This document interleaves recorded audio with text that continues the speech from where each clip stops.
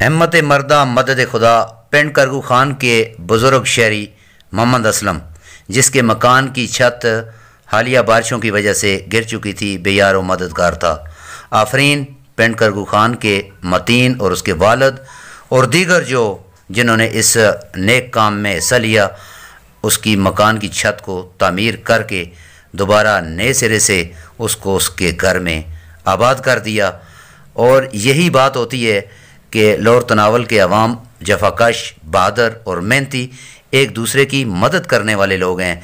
आज उन्होंने ये साबित कर दिया कि हम एक हैं, हम अपने बुज़ुर्गों को, हम अपने बेआसरा और बेतम ऐसे अफराद जो हमारी तवज्जो और हमारी महब्बतों के मंतज़र हैं।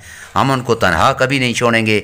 ये ज़िंदा मसाइल कायम करके अब्दुलमतीन और उसके वालद और दीगर मुखैर हजरात ने यह साबित किया है कि हम बेबस, मजबूर लोगों का साथ कभी नहीं छोड़ेंगे और ख़ासकर इसमें काफ़ी तादाद में इलाका भर के लोगों ने भी ज़ाती तौर पर शिरकत की और उसके मकान की जो छत बारिश की वजह से गिर चुकी थी, उसको नए सिरे से तमीर कर दिया गया है और ये आप देख सकते हैं वीडियो में ये काम जारी है और बुज़ुर्ग जो है वो खुश बैठा हुआ है और तमाम इलाका के जो लोग हैं वो अपनी मदद आपके तहत इस बुज़ुर्ग की जो है वो मकान की तमीर कर रहे हैं।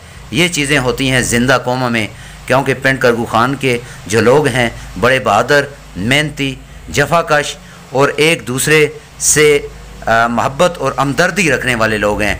वो जो पुराने वक्तों में हुआ करता था कि अगर किसी के साथ कोई ऐसा मामला हो जाता तो सब पहुँच जाते थे। आज वाकई इन्होंने साबित कर दिया है। अब जो बुज़ुर्ग हैं, असलम चचा, वो इंतई खुश हैं।